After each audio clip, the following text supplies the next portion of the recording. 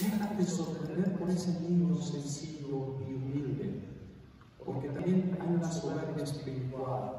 Ya lo conozco, yo no sé, tú qué tienes que enseñarme. A mí me sucedió en una parroquia eh, cuando llegué de párroco para una comunidad grandísima y que empecé a ver grupo por grupo de los que tenía y uno de los grupos que era muy bien informado, estudiados, y yo iba viendo cada grupo los líderes que compraron diferentes días y decir qué es lo que ustedes hacen, cómo contribuyen a la parroquia al crecimiento espiritual, cómo integrar después los diferentes grupos a construir una comunidad eh, armoniosa. Y recuerdo que les dije, a ver, cuéntenme ustedes. Comienza un jovencito bien preparado y dice, padre, nosotros estudiamos la Biblia, nosotros nos podemos orar constantemente, etcétera, etcétera. Y me estaba dando mucha alegría escuchar esto. Dije, wow. Pero hasta que llegó un momento en que hizo un juicio bien, bien delicado. Y dice, padre, estamos para ayudarle. Hasta ahí vamos muy bien. Dice, ahora Egipto es gente ignorante.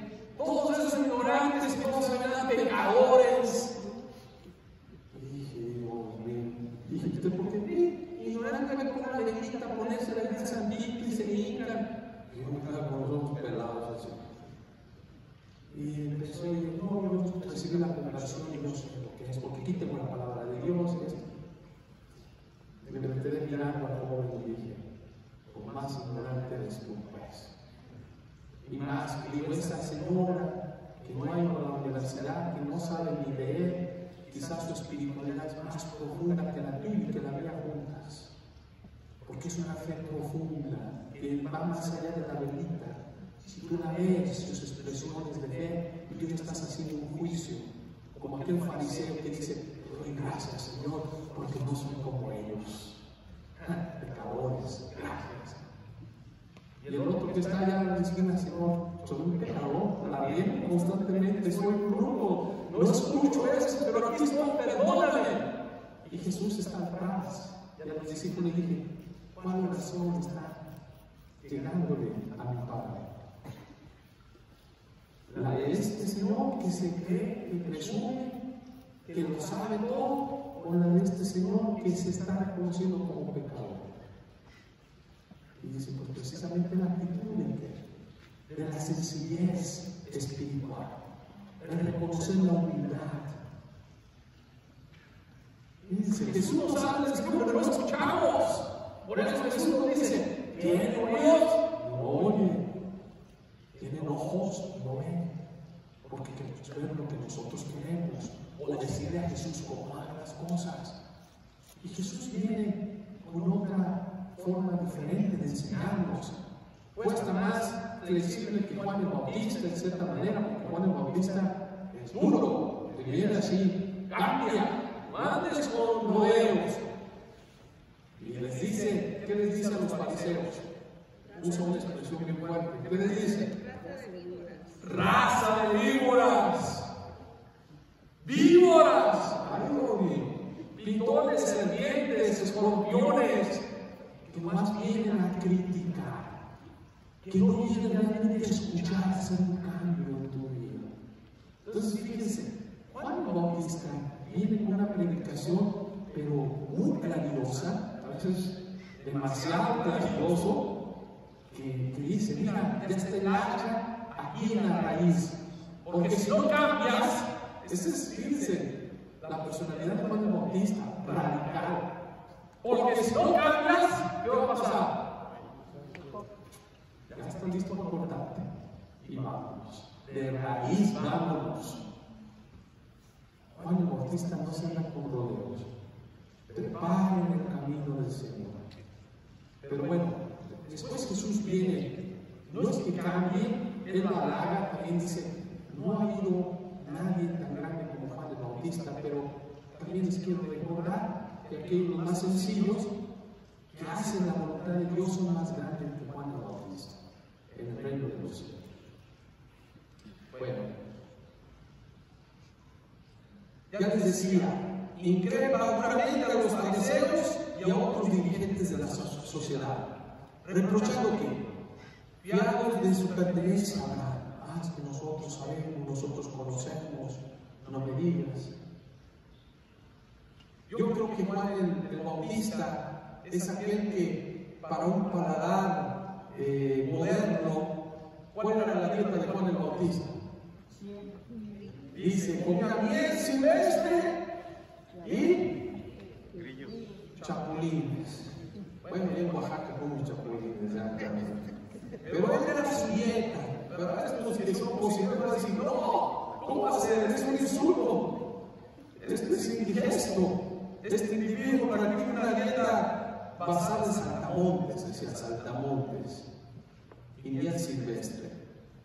Yo creo que ningún personaje importante lo acreditaría hoy a Juan el Bautista. ¿Qué diríamos? Si viéramos a alguien que se pone una piel de, de camello y se va al desierto y anda así comiendo ¿qué le diríamos? Es un lunático, que le andan haciendo caso, no hombre, ¿sí? Nadie lo contrataría. A ver, ustedes creen que una empresa, ¿sí? Lo contrataría para hacer su marketing, relaciones públicas. Dice, compadre, primero vístaseme bien. ¿sí? Si va a predicar la palabra de Dios, póngase mis corbatitas, su trajecito para que le crean de perdida.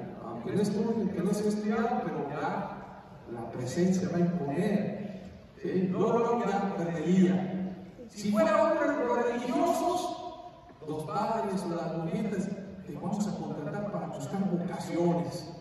Imagínate, los hombres decir, no, hombre, ¿sí? que vamos a ¿Cuáles vocaciones? Muchos ambientes eclesiásticos creían más que otra cosa. ¿Qué crearía Juan el Bautista? Incomodidad. Sería incómodo. Y dirían, sáquenlo de aquí, pues. Este incomoda. Yo creo que, eh, pues esta era la personalidad de él. Él aparece en el desierto, no en el templo, como les decía, y pregona todo lo que acuda a la conversión. ¿Qué es lo que predica? Cambio de vida, cambia su vida, cambia tu vida. No trata de agradar o desencadenar aplausos. Él no quiere aplausos. Él lo que quiere que cambies tu vida. Porque habiendo un cambio en tu vida, vas a entender mensaje que Dios tiene, pues. ¿Quién viene a predicar Juan el Bautista? Juan el Bautista viene a predicar una nueva era donde hombres y mujeres serán movidos por quién? Por el Espíritu Santo. Dice, viene una era, yo no la tengo pues, pero va a venir alguien, ¿sí? Que nos va a traer este Espíritu Santo. Nosotros estamos en la era precisamente de quién? Del Espíritu Santo. Y la iglesia nos invita a dejarnos llevar a Él a la salvación de quién? De Jesús. Jesús viene a traernos el Espíritu del Padre, el Espíritu Santo. Jesús es aquel que viene a predicar de una manera amorosa. Y Él también nos viene y nos recuerda dice, bueno, vino Juan el Bautista, predica de una manera radical, dura. ¿Y qué le dice? Lunático, loco. Bueno, viene Jesús, otro profeta, que viene a anunciarnos el amor, la caridad, el respeto, quiere ser el primero, es el último. Yo voy con la gente, como contigo, estoy contigo, voy a tus fiestas. Si no te digo, pues, no, cada Dios se presenta en diferentes maneras en nuestra vida. ¿Y qué dice la gente? Es un borracho. Ah, es un borracho, comilón, ande parrandas en fiestas. Eso habla de Jesús. Dice, no los entiendo. Ustedes son como niños que, que les tocan la flauta y esto. No son niños, pues ¿cómo está nuestra fe? ¿En qué estamos creyendo? Yo creo que el aliento hoy, precisamente estas cuatro semanas que se nos ha ido invitando es prepara pues este camino de este Jesús que quiero que viene a traerte. Viene a traerte pues un mensaje de amor, de vida, de respeto, Hoy Juan el Bautista es testigo de la novedad de Dios. Juan el Bautista es el modelo de meditación eh, de, esta de esta novedad de Jesús. Es el profeta escogido por Dios para señalar el Mesías entre los hombres. Aunque ya les decía el domingo pasado, el sábado de la misa, les decía, Juan el Bautista también tuvo su crisis. ¿Saben cuál fue la crisis? ¿Será este el Mesías o era otro? ¿Eres tú o va otro? ¿Y qué les dice Jesús?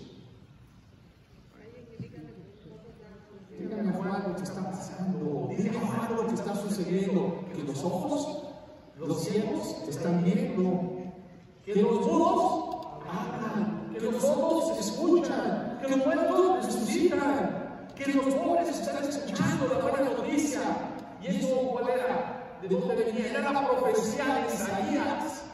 La profecía que dice, Emanuel, va a venir alguien, el Dios con nosotros. ¿Y cómo vas a destruir? Ya el profeta Isaías, 700, 800 años antes de Cristo, ya lo va proclamando, va diciendo, va a haber signos concretos.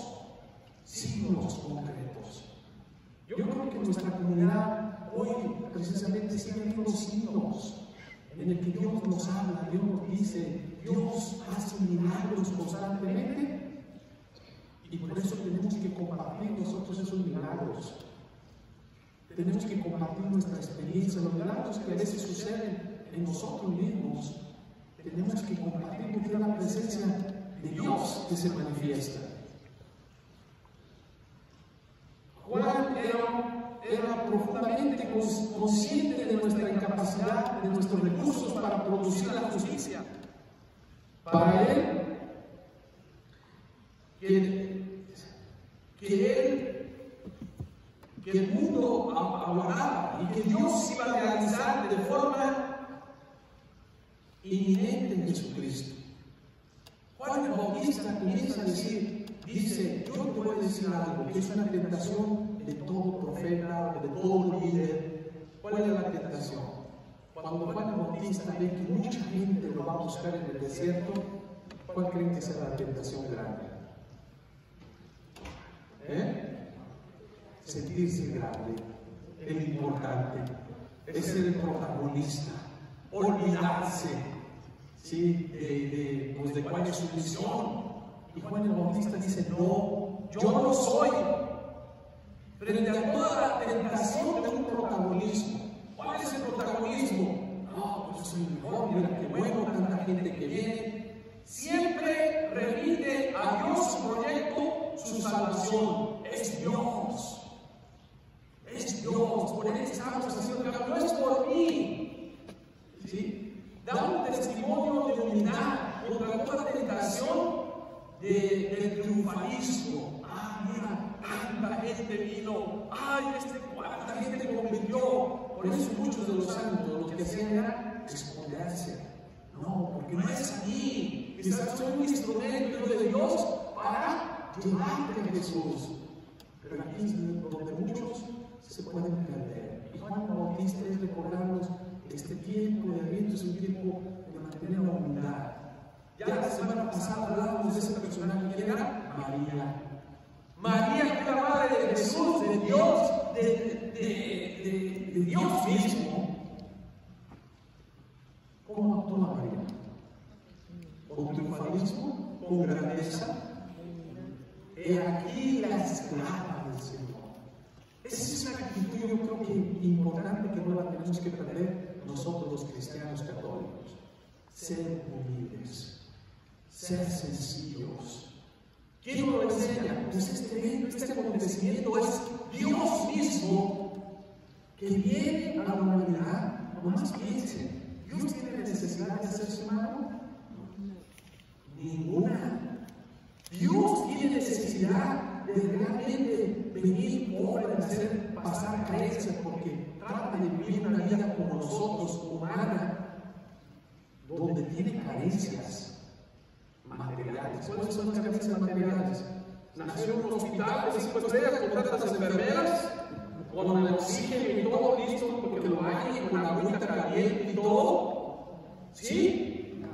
Con su jacuzzi, con su ahí, todos sus, sus cobijitas de seda, de todo, de lino, ser lo mejor. No. Jesús vive de una manera pobre, sencilla, humilde. ¿Y eso qué significa? ¿Qué quiere decir eso? Pues ante el consumismo que estamos hoy. Hoy es su celebración, Navidad es su celebración de Él. ¿Qué es lo que le agradaría a Jesús? Ustedes quieren creen. Vosotros preguntan, ¿por qué vino Dios al mundo? ¿Por qué viene y se presenta? ¿Por qué nace de una manera pobre y sencilla? ¿Por qué viene con la gente a caminar, a enseñar? ¿Qué es lo que trae detrás de todo eso? Pues enseñarnos qué es lo más importante, descubrir en nosotros mismos, en la profundidad de nosotros mismos, que ahí tienes un tesoro tan hermoso, tan bello. A veces nosotros en la familia estamos buscando la felicidad en otro lugar y ¿dónde la tienes? Allí a tu lado. Tu mujer, tus hijos, tu esposo, la esposa está buscando en el vestido, en la bolsa de, de ¿cómo se llama? Luis Butón, no son, o de Michael o no sé qué más. Pues, ¿qué una bolsa? ¿Qué tiene una bolsa? No, pues signo nada más, ¿qué más? Nada. No, pero la comadre me la va a ver, pues. ¿Y qué va a hacer? Si la tienes o no la tienes, mejor. Sé que no, pues, pero, pero se nos pierde, nos perdemos. Una sociedad que nos invade y se dice: si no tienes esto, no, no es importante. O no haremos, pues. Otra vez vuelve a decir de una manera sencilla: la humildad es algo bien importante que tenemos que trabajar. Eh, ¿Qué se nos invita? Es a realizar nuestra misión, nuestro llamado, que es a servir. Tenemos el ejemplo de María, hoy el de Juan. Hay una tentación grande de ser el centro de atención nosotros muchas veces. Hacemos las cosas por gratificación humana, eh, por llenar vacíos de egoísmo, no por llenar mi, mi, mi vacío de, con la unidad, pues, mis vacíos emocionales. Me encontraba con un amigo que es profesor en la Universidad de, San Francisco y me dice, este, hay gente tan rica, tan rica, altruistas, dice, que ayudan muchísimo, dan millones y millones de dólares a diferentes proyectos nobles, bonitos para la sociedad.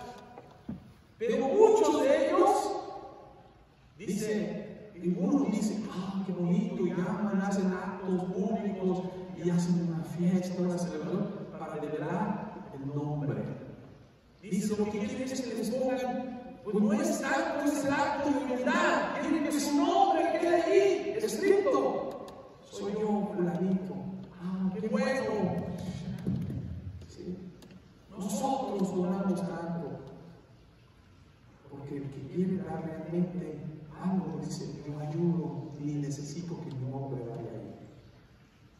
Pero hay muchos que buscan, pero más como un disfraz, para llenar su ego, no por ser humildes. Es la diferencia de la humildad, la sencillez.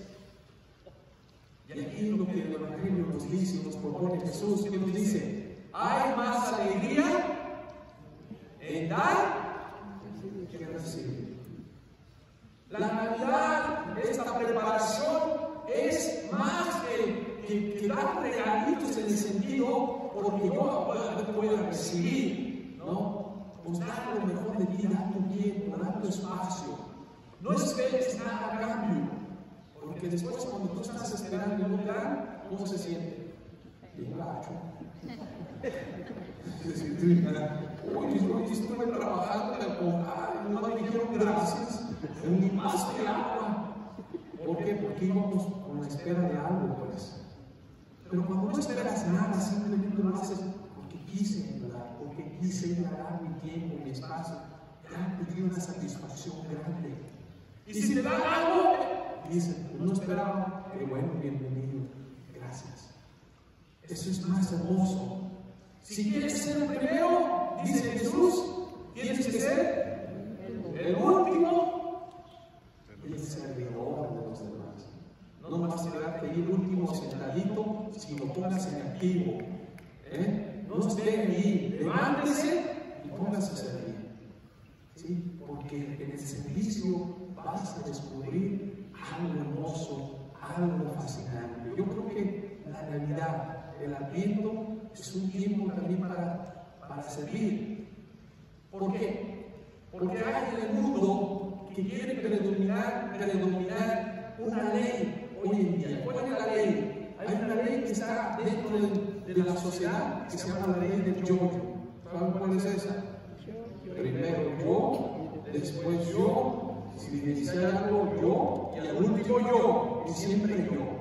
Yo, yo, yo, yo, el yo, yo. Yo, de un egoísmo. Y la Navidad es todo lo contrario. No es yo. Es vaciarme de, mi yo para darlo a los demás.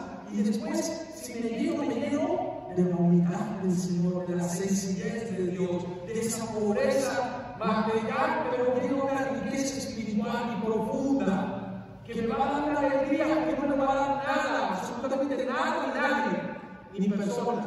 Porque aquí también nosotros ponemos muchas veces nuestro corazón en algo a la persona y las personas también nos no quiero vivir, ya no quiero, ya no sé qué hacer. Nos hacen daño y sufrimos. Jesús no es aquel que dice, ya, si amas, pero no esperes, porque cuando esperas que el otro te ame de regreso, Dios mío, vas a sufrir. Yo me recuerdo, eh, trabajé en Cincinnati, una de las que me dieron allá, me encontré con un joven eh, que empezó a venir mucho a la iglesia con su, con su esposa y tenía cuatro niñas, diferentes edades. Siempre venía a la iglesia. Era bonito ver al, al Señor con sus cuatro niñas y, y un día me dice, Padre, me emociono yo cuando vengo aquí a la comunidad. Yo quiero hacer algo, yo no voy a ir a la misa, sino con mi esposa queremos hacer algo. En serio, se llamaba Oscar, se llama Oscar. Sí, padre. Bueno, pues mira, ¿por qué no haces esto? Uh, él empezó a trabajar bien bonito en la comunidad. Activo, yendo para allá. Uh, y cuando vio a Oscar, cosa feliz, padre, y más con mis hijas, les digo enseñar a ellas cómo es el servir, porque he entendido que, que sirviendo, pues uno se llena de bondades. Bueno, todo bien bonito. Y yo me sentía también bien realizado, porque cuando ves a alguien feliz, alguien que está creciendo espiritualmente, para mí es una alegría, es un gozo, para mí era un gozo, más que decir, qué bonito. Pero un día yo estaba ahí eh, hablando con alguien y de repente vi a Oscar en el estacionamiento y me hacía así, y dije, ¿qué pasó? Y lo vi llorando. Señor, más alto que yo, estoy llorando. Ya terminé de hablar con la persona y dije, Oscar, ¿qué pasa? No, padre, yo no más vengo a decir, olvídese, yo no vengo aquí. Y dije, ¿qué le pasa? No, no, gente malagradecida, gente, yo no vengo y nunca más. Y a ver, ¿qué pasó? No, pues usted, usted sabe lo que estamos haciendo en la comunidad. Y sí, yo te dicho algo. No, usted, yo estoy agradecido, qué bonito, has ayudado a la iglesia esto, a la comunidad esto, a esta familia esto. Y, y él, no, pero padre, ahí hay llegaron chismes que la gente está hablando, que yo nomás vengo aquí, y que me estoy ganando dinero, que me estoy haciendo esto, que para esto y esto. Y lo estás haciendo. No, pero entonces, y, y ya me le quedaba mirando y dije, Oscar, tú te a una te pasó lo que a un amigo mío. Y dice, ¿qué amigo? Y dice, precisamente aquí está. Vamos a que te cuente su historia. Y dice, pero padre, ven, yo no te voy a contar. En mi primera iglesia, así estaba. Y, y que me llamo y, dije, y dice, ¿dónde está? Y estaba solo en la iglesia. Vente hasta el frente. Y ya prendo la luz. Y pues está así, igualito que el Cristo, así. Y dice, ¿dónde? Y él volteaba, padre. Y ¿qué no es? ah, me están tomando el pelo, me tomando el pelo. Mira, ¿quién es él? ¡Padre! ¡Eso me va a pasar a mí! pues quizás, quizás eso te va a pasar si tú sigues sirviendo con amor y con humildad y con sencillez. Jesús es Dios con nosotros. Jesús viene a darse. ¿Qué único que hizo? Milagros, dar de comer a cinco mil gentes, hablar, sacar demonios, hablar cosas bonitas, cosas bellas. ¿Tú qué esperabas? ¿Que nadie iba a decir nada de ti? ¿O tú qué estabas esperando? ¿Incienso? Pero Pablo, pues ¿qué es? Esto es precisamente llenarte de Dios. Llenarte de Dios es precisamente entender, hoy vas a entender más cuando escuches que a Jesús lo trataban de, de, o, o lo, lo criticaban, porque no hizo nada malo, hacía cosas buenas. La Navidad es llenarte del Espíritu de Jesús para no tener miedo a dar testimonio a los demás. ¿O qué buscabas? ¿Qué estás buscando tú con tu familia? No, padre, piénsalo. Ya después Oscar, pues ahí lloró, lloró un ratito. Sí, uno es triste porque a mí también me ha pasado. Yo a veces he querido tirar la toalla también. Decir, no, tanto trabajo, ni sabe lo que estoy pasando. O estoy enfermo la gente no, piensa en ellos, en ellos y no saben ni qué tú estás viviendo, o cómo te sentiste, o qué has hecho todo el santo día. Y ustedes, para que son madre, yo también necesito descansar, necesito comer, necesito. No, no, no. Pero bueno, pero al final lo que tienes que llenarte de unidad y de sencillez del Espíritu del Señor para poder entender y decir, yo creo que este llamado de la Navidad es precisamente un llenarme del Espíritu de Jesús. La Navidad es el tiempo propicio para romper todo egoísmo. El desierto del despojo y de la autenticidad de Dios. Y a los hermanos resonará una palabra inconfundible destinada a cada humano. El Hijo de Dios se hizo hombre para que los hombres llegaran a ser hijos de Dios. Al final lo que Dios quiere que nosotros nos demos cuenta, pues que Él quiere que seamos sus hijos. Bueno, ya este, casi para concluir hoy, simplemente te, te, invito a llevar a meditar en esta última semana que nos queda. Dice, ya les había dicho que Juan el Bautista se había ido a predicar al desierto de Judea eh, y que decía, conviértanse, cambien. Yo te invito hoy a que tú pienses y digas, busco espacios de desierto para escuchar la voz de Dios. ¿Cuáles son los principales ríos que no me dejan escuchar mis proyectos, mis ideas, mis gustos? ¿De qué me tengo que convertir yo? ¿Qué rumbo le tengo que dar yo a mi vida? ¿Qué cosas hay en mi vida que todavía no han sido tocadas por el Evangelio?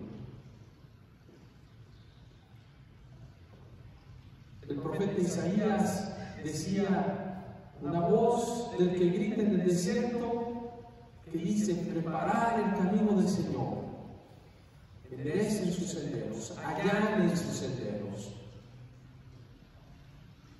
Pienso que hoy en día hay muchas voces en el desierto de nuestro mundo, hoy hay muchas voces que siguen gritando eh, el clamor de los pobres, ¿Y quiénes son esos pobres? Los indefensos, los atropellados por la injusticia, mujeres maltratadas en el hogar, marginadas, los ancianos, los humildes, los manipulados, los emigrantes, los que carecen de trabajo. Yo creo que eso es una voz que urge, que nos está gritando, preparen el camino del Señor cambiando estructuras, cambiando maneras de pensar. Es una voz que nos habla de allanar, de enderezar, de igualar, para que el Señor se acerque. ¿Qué estoy haciendo debería hacer para que esto se pueda hacer realidad? Hay una voz que está gritando, pero yo qué estoy haciendo? ¿Estoy calladito, no hago nada? ¿O qué me invita pues este tiempo de Navidad? Muchas iglesias juntan despensas, y se las llevan a una familia pobre, sencilla, otros juntan juguetito, vamos a llevárselo a un niño como un signo de ver en nuestra sociedad. Hay migrantes pues, que no tienen un documento, que tienen años y años. Quizás aquí, en esta noche, hay alguno que tiene que no venga a su familiar, a su ser querido, y que están aquí sacrificándose, mandando un centralito, un dólar, algo para su familia, para estar mejor, pero se nos olvida. El profeta cristiano siempre habla en el nombre de Dios, no en el nombre propio. En el nombre de quien, ahí pregúntate, ¿en nombre de quién hablo yo? ¿Hablo en nombre de Dios o me da pena, me da vergüenza? Mi voz clama de la injusticia o calla por miedo. Yo creo que estamos invitados a orar, a aprender a orar como Juan el Bautista es empezar a decir verdades aunque. Las verdades curan y salvan. A veces nosotros queremos vivir en la mentira, pues, en mentira, porque ah, pues, me va a crear problemas. Eh, dice Juan Bautista que la gente confesaba sus pecados y se bautizaba en el Jordán. La pregunta que te hago yo hoy, ¿cuáles son los pecados que he de confesar? ¿Cuánto hace que no me confieso? Pregúntate. ¿Cómo me voy a confesar con un hombre más pecador que yo? ¿Sí? Quizás los sacerdotes somos más pecadores, pero Dios les dio poder para perdonar los pecados, pues. ¿Qué experiencia tengo de vivir el sacramento de la penitencia? ¿Cómo estoy viviendo mi bautizo? El bautizo de recibir el Espíritu de Dios en mi vida. Dad el fruto que pide la conversión. Todo árbol que no dé buen fruto será talado y echado al fuego, dice la Escritura. Pregúntate, ¿qué frutos me están impidiendo el Señor en este momento, en mi familia, en mi trabajo, con los amigos, en la parroquia, en mi equipo de vida? ¿Cómo puedo alimentarme para dar fruto y que ese fruto dure o que ese fruto dé vida. Bueno, yo creo que hay una promesa al final de esto. ¿Cuál es? La promesa que Juan el Bautista nos viene a dar dice, viene el Salvador. ¿Y qué viene a traer? Dice, viene a traer el Espíritu Santo, que viene un bautizo de fuego. Viene a llenar nuestro corazón de alegría, de gozo, de esperanza, de talar todas nuestras tristezas, nuestros miedos. El Espíritu Santo lo hace todo nuevo. ¿Estoy dejando que el Espíritu Santo transforme mi vida o no? El Espíritu Santo es el que hace todo nuevo. Por eso el pecado contra el Espíritu Santo es el único que no se puede perdonar, dice la Escritura. Porque si yo no creo que el Espíritu Santo puede hacer todo nuevo, pues no puedo hacer nada. ¿Me voy a entender? Deja que el Espíritu de Dios te toque tu vida y te transforme. ¿Qué papel juega el Espíritu Santo en mi vida? ¿Cómo puedo hacerme cada vez más consciente del protagonismo del Espíritu Santo en mi historia personal? Por el bautismo hemos sido llamados a ser santos. ¿Cómo estoy viviendo esa santidad? ¿En qué dimensión de la vida voy creciendo o me falta crecer para ser de verdad una persona espiritual inundada o llena del Espíritu Santo? Pues precisamente hoy hemos llegado al último día de esta preparación. Ya la próxima semana es la Navidad. Esta semana yo te invito pues a, a revisar, a checar hacer tu chequeo. Y San Ignacio de Loyola, él a sus seguidores, que son los padres jesuitas, él les pedía una cosa, y en sus reglamentos dice, si ustedes son parte de mi equipo, les voy a pedir una sola cosa. ¿Qué? Dice, hagan antes de dormir su examen de conciencia. ¿Y qué es eso? No me voy a pedir si oraron todo el día, si no hicieron, no preguntar. Lo único que a preguntar, hiciste tu examen de conciencia. ¿Y eso qué consiste? Antes de dormirte, pregúntame, ¿Qué cosas malas hice el día? ¿O cómo estuve? ¿Qué actitudes tuve? ¿Estuve triste? ¿Por qué estuve triste? O si estuve tedioso o enojón, ¿por qué me enojé? Al final recapitula todo lo que hiciste en el día. Si hice cosas malas en ese momento, pídele perdón a Dios. En ese momento no esperes hasta que haya la confesión. No, en ese momento dile, Señor, te perdono. Te prometo que mañana voy a tratar de poner mi cara más alegre. Hoy a mi esposo, yo hoy hice las cosas a la ventana, a mis hijos, o a mi esposa no le di un abrazo y la traté mal, no le agradecí. En la noche antes de dormir te di perdón al Señor. Pero también ve las cosas buenas que hiciste en el día. Si ayudaste a alguien a cruzar la calle, si le diste los buenos días con alegría, alguien no te contestó, no importa, si le dijiste, en ese momento dale gracias a Dios. Porque las cosas buenas allí se manifiesta nuestro Señor. Esto, si lo hacemos todos nosotros, va a cambiar nuestras vidas. San Ignacio decía, hagan esto y van a ver cómo tu vida se transforma. Si no tienes tiempo para rezar, no te importa, hazme tu examen de conciencia. Porque Juan Bautista, Juan, San Ignacio de Loyola entendía que haciendo tu examen de conciencia estás orando, estás rezando. Pero vamos a, tratar pues, estos días de prepararnos pues para que el Señor eh, transforme pues también eh, mi camino torcido en un camino más recto. Y pues esta es la propuesta que les hago yo a ustedes eh, antes de llegar a la Navidad, de prepararnos, de estar listos. Así sea. Vamos a orar, vamos concluir con una pequeña oración.